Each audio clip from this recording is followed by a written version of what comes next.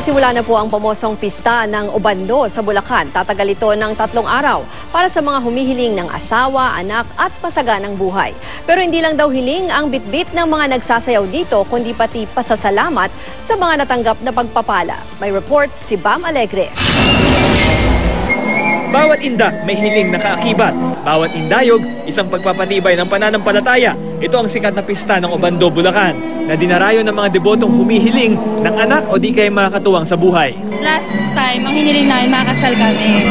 Nagkatotoo naman po. Ang nagkatotoo. Para sa buhay po, tsaka gusto talaga namin magkaanak eh. Tatlong araw ipinagdiriwang ang pista ngayong biyernes si San Pascual Bailo ng patron para sa mga naghahanap ng asawa.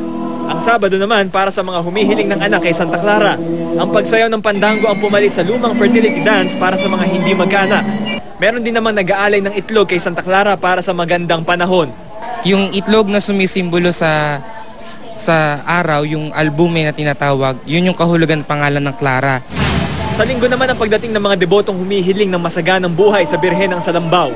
Nakakakilabot kasi ah, mayroong mga pinanggagalingan yung mga tao. Mayroong pang galing sa Bicol, galing sa Pangasinan, galing sa ibang bansa. Pag pupunta kayo sa pista ng Obando, dapat kabisado nyo yung awit ni Santa Clara. Kaya narito si Sister Vim at si Brother Bert para ituro sa atin yan. Paano po ba yung awit ni Santa Clara?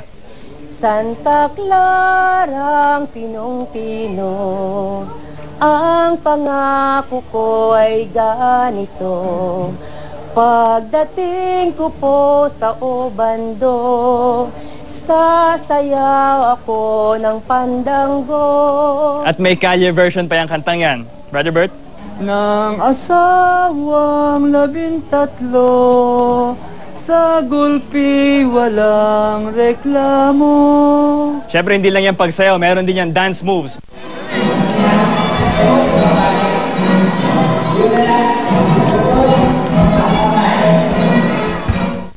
Ayon kay Father Vin Hison, hindi lang daw puro kahilingan ang ipinupunta ng mga deboto. May ilang din nagpapasalamat para sa mga himala at pagpapalang kanilang tinatamasa.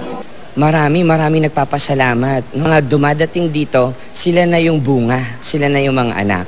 Bam Alegre, GMA News.